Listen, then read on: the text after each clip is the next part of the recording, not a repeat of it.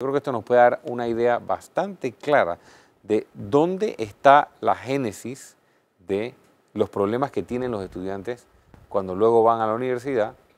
y los problemas que tienen los estudiantes cuando luego se convierten en profesionales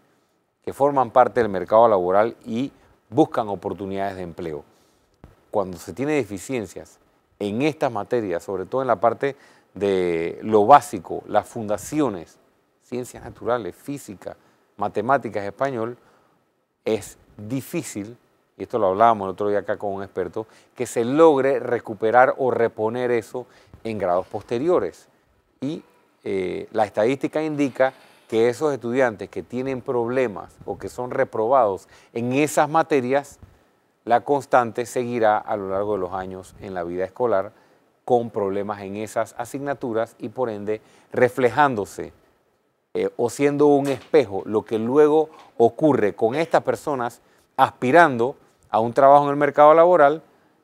se produce un espejo con las deficiencias que tenían en el sistema escolar. ECO te invita a revivir este contenido entrando al canal 1 de VOD de Cableonda.